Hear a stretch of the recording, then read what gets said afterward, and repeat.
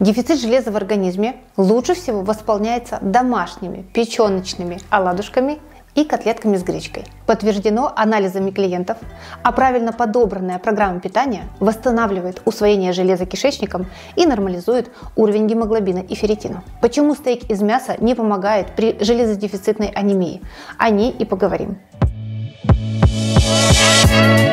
Всем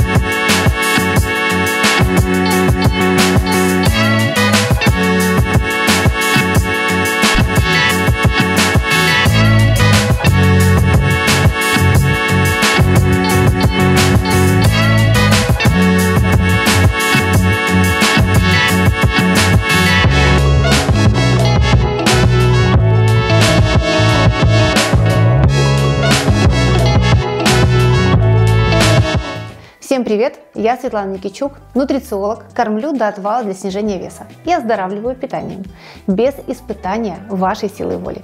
Заставляю гулять, спать, но об этом в моем блоге в Инстаграм. Подписывайтесь. Там еще о том, как я переехала из Киева в Германию с одним чемоданом и двумя детьми. Ставьте на паузу и жмите подписаться прямо сейчас. Замечали, что если пойти гулять по улицам, то кофе с собой встречается чаще, чем трещины на тротуаре. Без сомнения, чтобы взбодриться перед, во время или после работы, нужно просто протянуть руку и обязательно попадешь в окошко, где предложат кофе и печенье с предсказаниями. Актуально и ой как заманчиво. Сетевые рестораны пошли дальше и предлагают абонемент на кофе, где чашка ароматного заманчиво по цене. Встречи, прогулки на свежем воздухе и сторисы в Инстаграм непременно с ароматным напитком. Хочу отметить, что количество потребляемого кофеина резко возросло. Пить кофе и не только модно и вайбово, но и результативно, ведь ритм жизни бешеный. Мы плохо запоминаем, нам трудно удержать внимание даже на важном.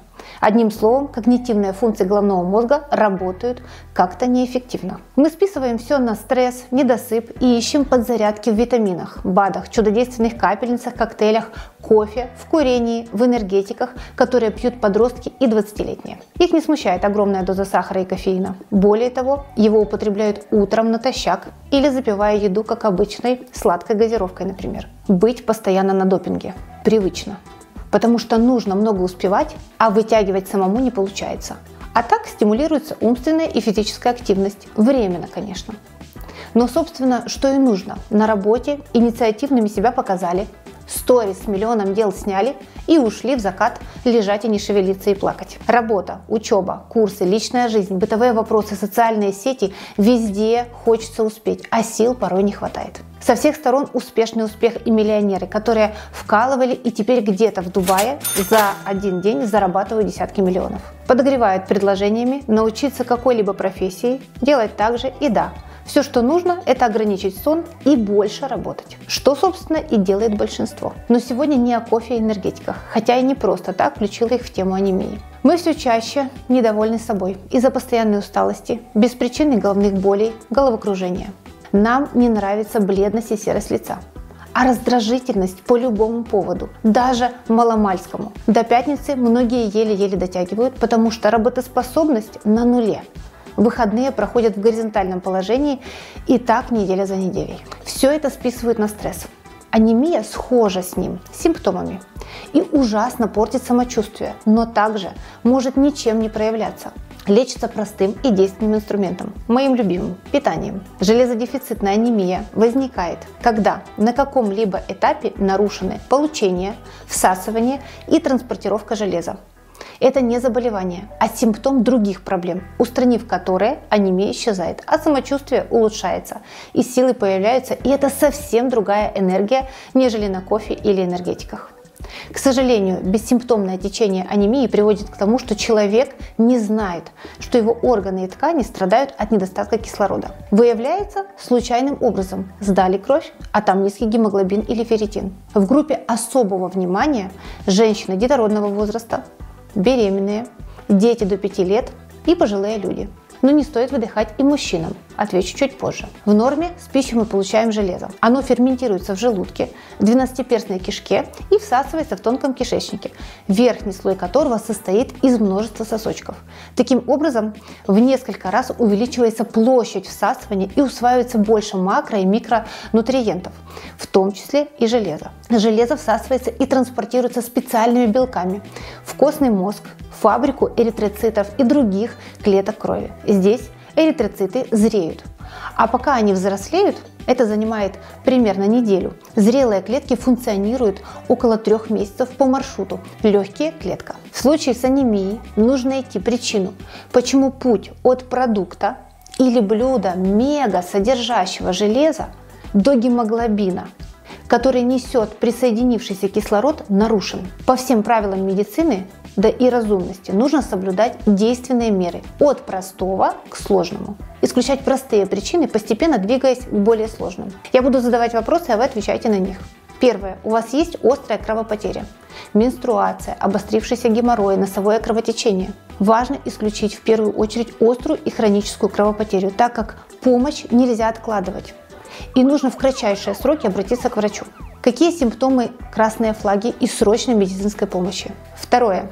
В вашем рационе достаточно продуктов, источников железа? Сразу уточню, что продукты животного и растительного происхождения содержат разное железо – гемовое и негемовое. Различие между ними в простоте усвоения. Гемовое содержится в животной пище и значительно проще усваивается.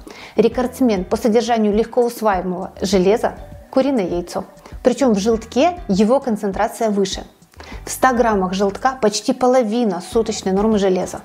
Вес одного желтка 60 грамм, а значит двух яиц в день достаточно. Если сравнить куриное и перепелиное, второе хоть и уступает весе, но не в количестве микроэлемента. Не забываем, что яйцо это еще источник белка. И вот еще одна причина, почему оно занимает ведущее место по доступности гемового железа. Железу нужен перевозчик, белок, а именно трансферин. Это такое такси, которое доставляет его до костного мозга, в котором и синтезируется гемоглобин. Но не представляйте себе комфортное такси с водителем в костюме. Нет, наш трансферин – это такой перегруженный автобус. Он присоединяет больше железа, чем весит сам. Запомните, пожалуйста, важное правило – железо и белок. Иначе оно не доберется до места синтеза. Дальше, субпродукты, а именно печень, говяжья, свиная, куриная, утиная, гусиная. Заметьте, не мясо говядины, как принято считать. В любой печени также много белка что, помним, позволяет доставить больше железа. Если вы не любите блюда из печени, возможно, вы просто не умеете ее готовить. Вымоченная в молоке, она лишается всех неприятных запахов а приготовленное в виде паштета, без строганов, оладушек, торта, в конце концов разнообразит ваш рацион. Помните, мы не рождаемся с определенными вкусовыми пристрастиями, мы их наживаем. Недаром говорят, вкусы меняются. Возможно, в вашей семье не принято было готовить тот или иной продукт и у вас просто не было возможности распробовать. Или вам не повезло и вы ели не самую лучшую версию блюда. Пойдите в любимый ресторан или кафе и закажите там блюдо из печени. И пусть все сложится. Так почему же домашние тефтельки в разы полезнее сочного мраморного мяса? В мясе мы видим волокна с минимальным воздействием, а значит сохранивших больше полезных элементов.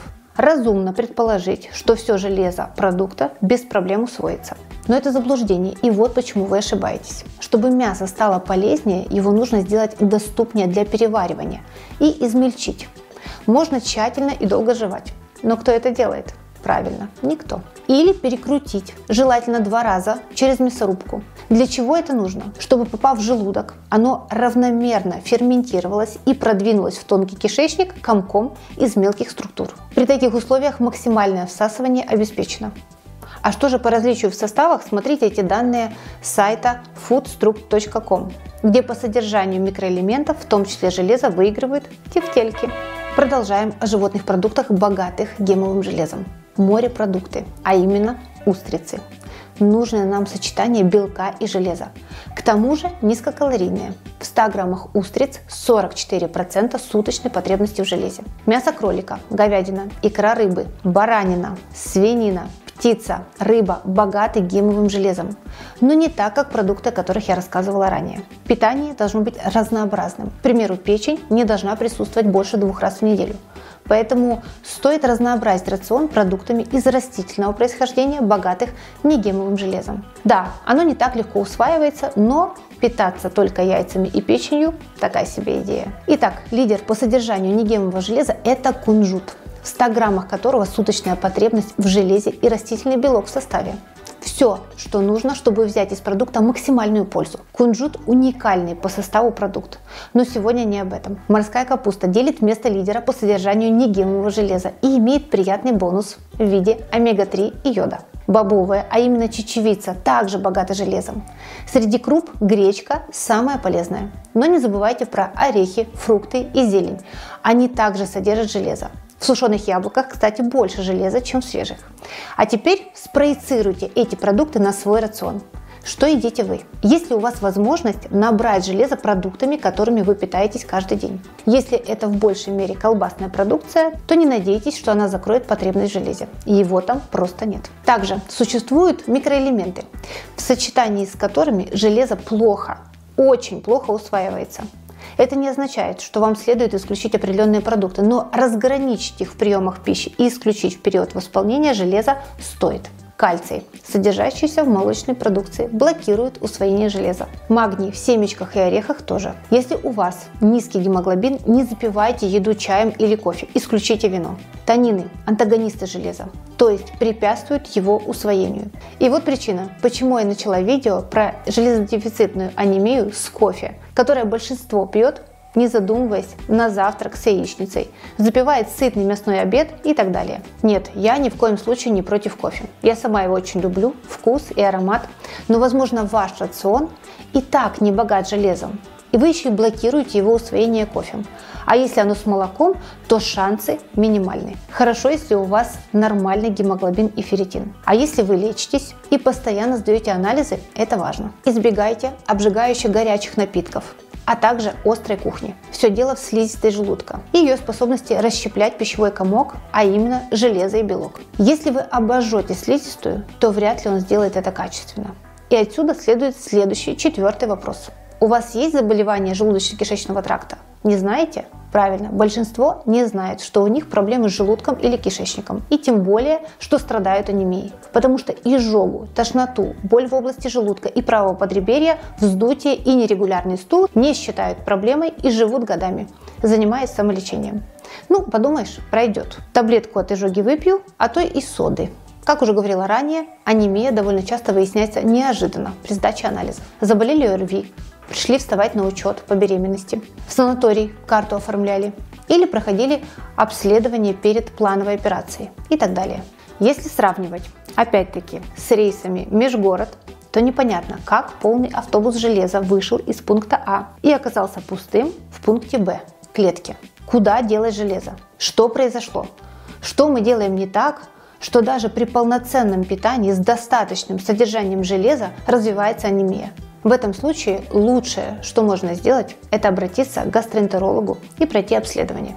УЗИ брюшной полости, эндоскопическое исследование желудка и прямой кишки, ФГДС и колоноскопию, чтобы исключить бессимптомное течение болезни, которое может быть на начальной стадии и не доставлять абсолютно никаких проблем, но вызывать анемию. Заболевания желудочно-кишечного тракта не дают усваиваться железу с пищей. Если вы страдаете гастритом, то нарушена ферментативная функция желудка, и пища не будет всасываться в тонком кишечнике. То же самое при панкреатите и холецистите. Еда, БАДы, препараты железа не повысят гемоглобин и ферритин.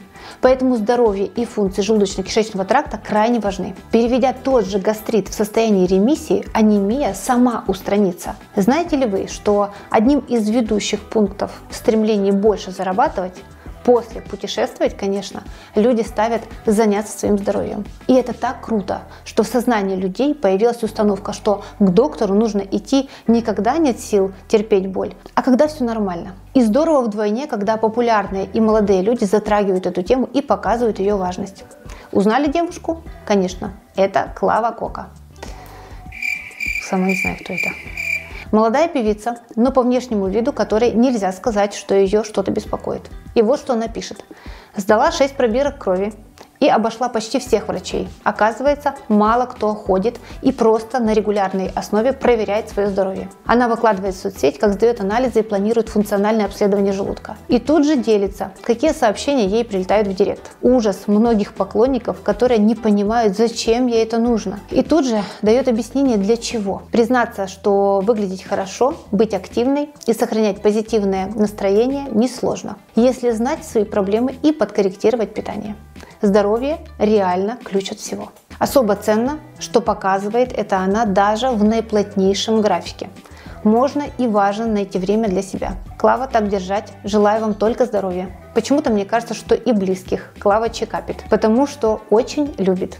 И такое проявление любви и заботы набирает обороты. Вот, доктор-эндокринолог Хан, который в своем телеграм-канале пишет, что подарил на 23 февраля родителям, цитата, «незабываемое путешествие на колоноскопию». Кто не знает, это исследование прямой кишки. Похожая трубка, как при э, ФГДС желудка. Отличный подарок, особенно после 45 лет. Особенно, если любите родных и хотите быть дольше с ними. Сохраняется главный принцип подарка. Позволить себе то, что сам себе никогда бы не купил. И респект за фразу осознанность к себе надо прививать. Мы же нормально относимся к ежегодной флюорографии грудной клетки. Колоноскопия – такой же скрининг. Но вернемся к железодефицитной анемии. В каждой клетке есть свой запас железа – ферритин. Он похож на трансферин. Помните, автобус, один атом ферритина содержит 4000 атомов железа. Когда случается кровопотеря или изменяется питание, или в связи с заболеванием желудочно-кишечного тракта железо не усваивается. Как раз из депо ферритина и берется недостающее железо. Анемии еще нет, но запасы истощаются и не пополняются. По анализам уже видно снижение ферритина, и это уже тревожный сигнал, на который нельзя закрывать глаза. Если не убрать причину и не скорректировать питание, то анемия со всеми симптомами и последствиями произойдет. Какие вы можете принять меры самостоятельно? Записаться к врачу уже сейчас, чтобы выяснить причину и получить адекватную терапию. Добавить в рацион продукты, содержащие большое количество гемового железа. Без фанатизма два раза в неделю печень, морепродукты, говядину только в виде тефтелек, голубцов, часов. Это лучше стейка. Убрать все острое и горячее, что может травмировать и нарушать функционирование желудка. Исключить чай, кофе и вино. Заменить на травяные сборы при отсутствии, конечно, аллергических реакций. Исключить молочку.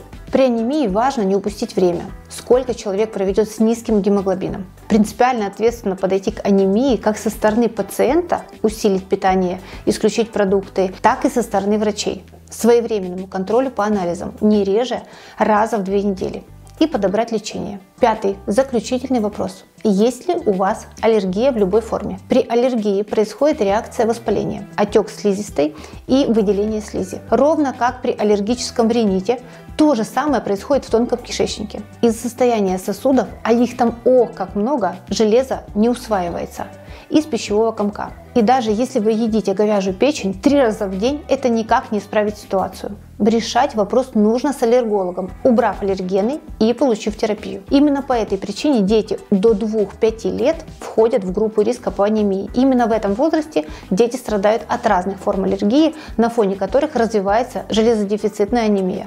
Убрав проблему, ферритин и гемоглобин тут же поднимутся. Питание – это больше, чем ощущать полный живот. Это точно не подмена удовольствия, заедание стресса и обид. Это мы и то, как мы выглядим, чувствуем, меняемся с возрастом. А еще питание – это несложная система, которой может научиться каждый. Достаточно только раз этому обучиться на курсе нутрициологика. Приходите. Оставляйте заявку, ссылку прикрепила. Ставьте лайк, если понравилось видео и пишите в комментариях, что вас еще интересует. Обнимаю, пока-пока.